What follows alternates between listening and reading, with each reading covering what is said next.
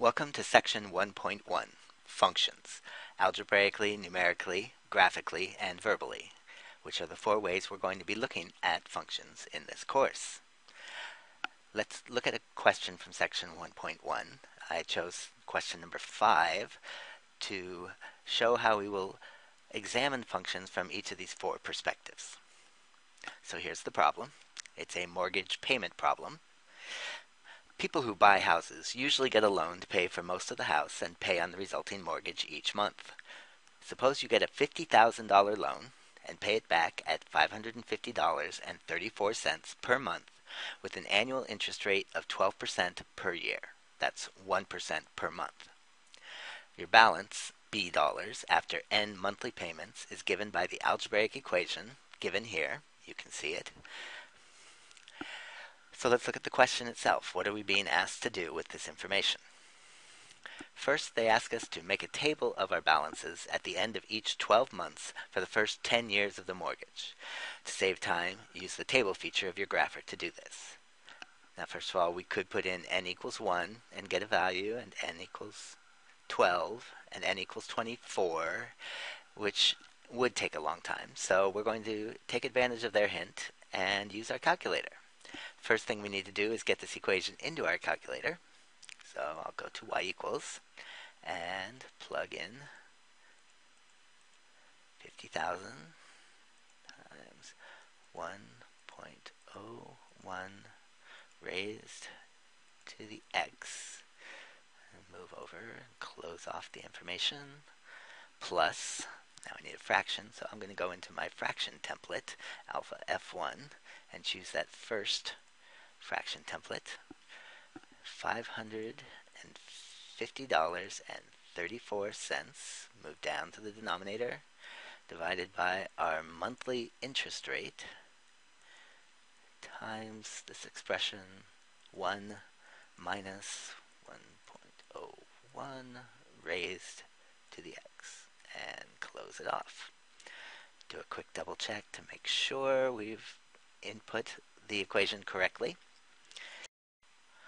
To make our table, we'll use the table feature as was suggested. So I'll go into my table, second graph, and here we can see that at zero months, I have $50,000 as my loan balance. Now I'm asked to look at every 12 months, so I can scroll down to 12 here. 10, 11, 12, and here I have $49,362 as my loan balance. And then I could scroll down to 24 and 36, but that could take a while. So let's see if we can speed up the process a little bit. I will go to the table set option, which is second window, and I'll start it back at zero again, but then I'm going to jump with this delta table every 12 months because that's what I'm being asked to do in the question. Now if I go back to my table, I can see quickly what my loan balance is. And if I need to go down to the first 10 years, that's when x equals 120. And there it is. So now I have all 11 values actually for my table because I would start with 0 and work my way up through the 10 yearly balances. And so there we have our solution to question 1a or 5a. Now, the next thing we're asked is how many months will it take to pay off the entire mortgage? Show how you get your answer. All right, well, let's continue to use the table here, and we can scroll down until we see when our loan balance goes from positive here at $200.88 to negative. So we know that sometime between the 240th month and the 252nd month, we've paid off our mortgage. To find a more specific value, I'm going to go back into the table set.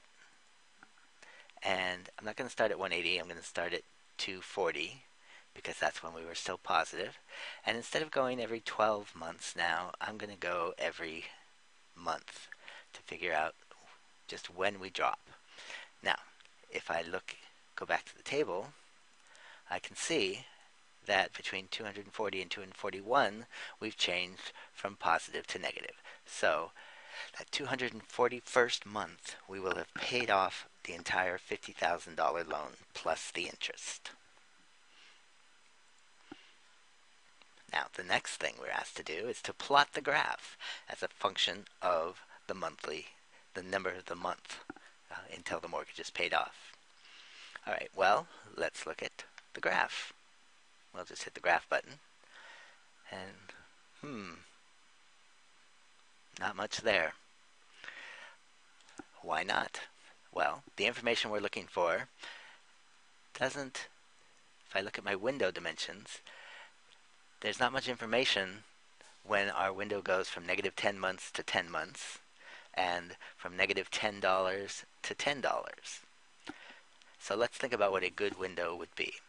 We know that our loan values or our loan is finally paid off after 240 months.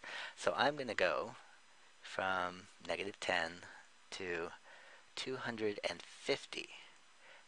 I like to put in white space around the information that I should be gaining from my graph.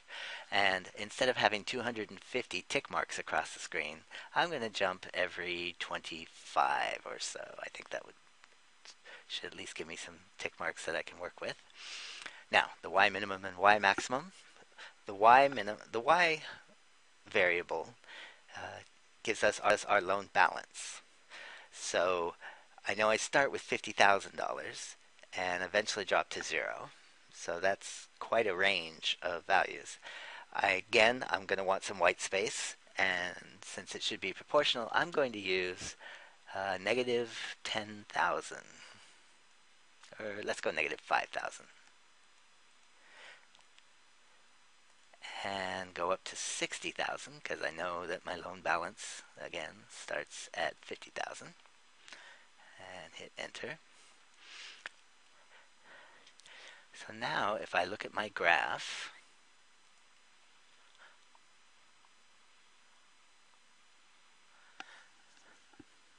you can see that we start up there at 50,000 and eventually drop down to zero. Pull that over. There's our graph. The next question we're asked to address is to decide whether this statement is true or false.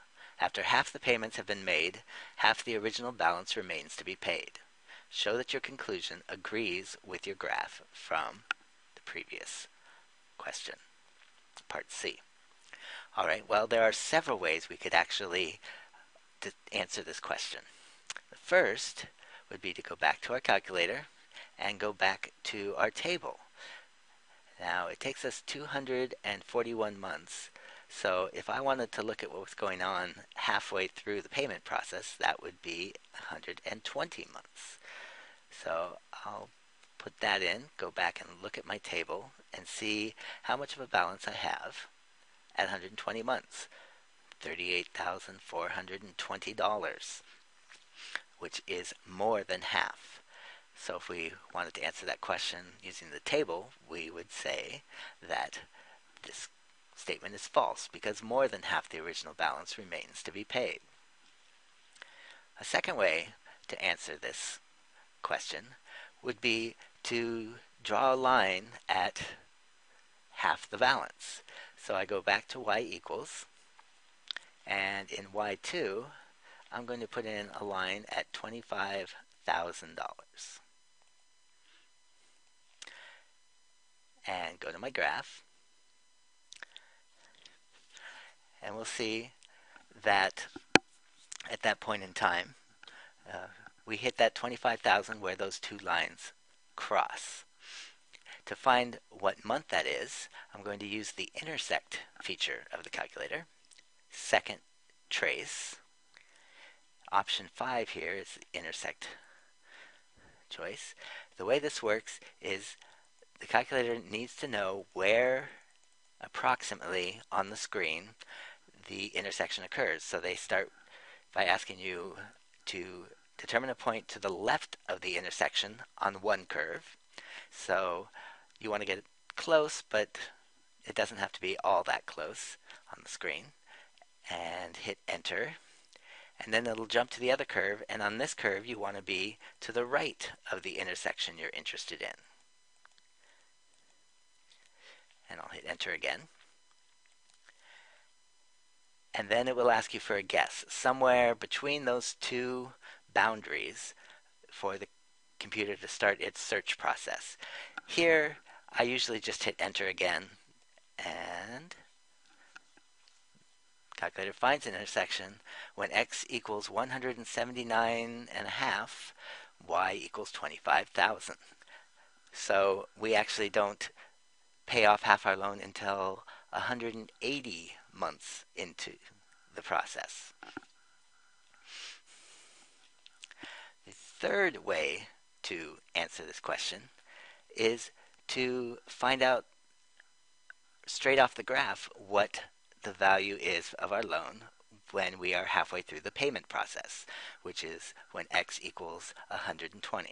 Here, we just go directly to the trace option, and we can plug in a value for x, the 120 months, which is halfway through the payment process. When we hit enter, it finds on the curve that y equals $38,419.85, which corresponds with the $38,420 in our table, rounded. So we've answered that question three different ways. You might want to think about which way you might use if you were asked to answer this type of question on a quiz or a test. Which way would be the fastest or easiest for you to get the information? Okay, last question.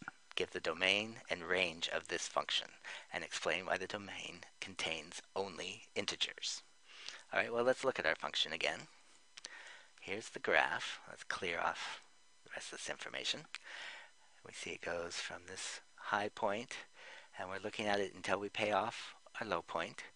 So going horizontally, talking about our input values, that covers from month 0 up to month 241. So we could say our domain would be from 0 to 241.